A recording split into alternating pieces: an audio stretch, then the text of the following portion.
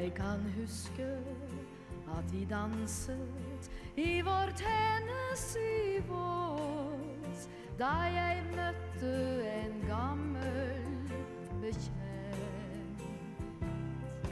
Hun fikk hilse på min kjære, og det skjedde da de danset. Jeg ble sveket før valsen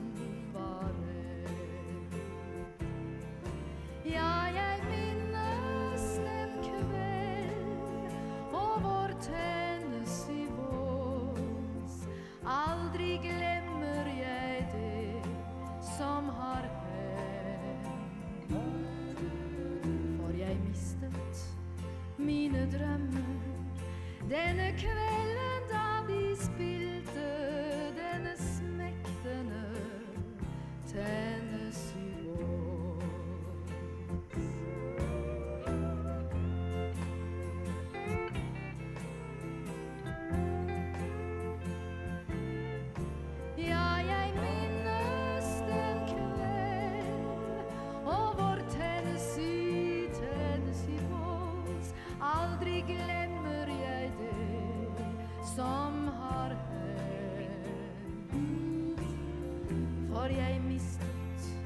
mine drømmer denne kvelden.